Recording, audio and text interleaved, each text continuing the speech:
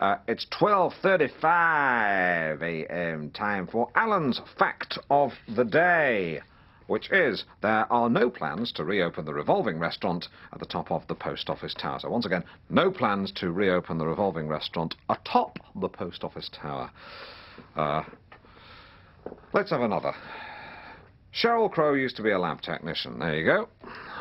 Okay, now it's time for uh, Get in Touch.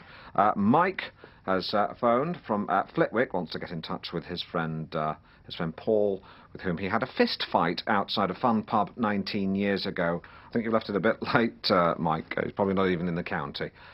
Okay, what would you like done with your mortal remains? Uh, uh, three nights we've been talking about this one. Tom from Diss would like to be stuffed and propped up in the bar of his local with a tankard in his hand. Nice idea, Tom, but I think you drive away business. They're trying to get families in.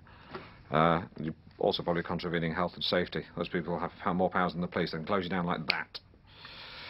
Okay, time for Alan's big break. This is Norwich-based Norwich-based electro-pop group Tuna Melt with a mysterious instrumental entitled Contact Lens.